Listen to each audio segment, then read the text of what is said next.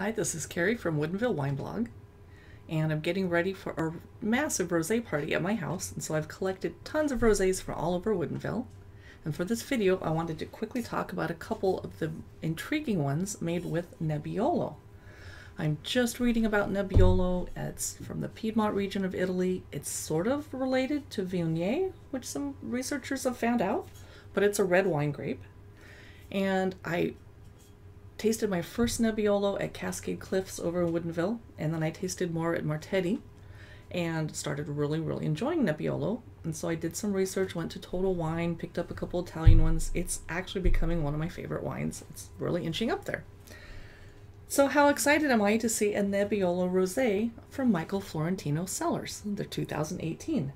I am super excited. It's 13.5% alcohol.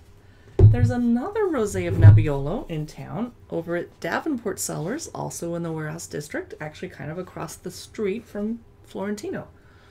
This is their Red Mountain from 2018.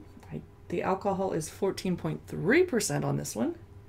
And I wish I had a bottle from Cascade Cliffs to show you, but they were closed when I was running around town, so I don't have theirs. Cascade Cliffs also does a rosé of Nebbiolo, 100%. Uh, let me know in the comments below if there's any other Woodinville tasting rooms that do a rosé of Nebbiolo. I would be fascinated to hear about it, and I'll probably run out and add them to my collection, although my collection is going to get drunk up by this weekend. And by drunk, I mean imbibed in. No one's getting drunk. Have you ever tasted a Nebbiolo rosé? I obviously can't open this because I'm waiting to host my friends and share it with them, but I'm really tempted. Let, let me know what you think in the comments below. Thanks for watching.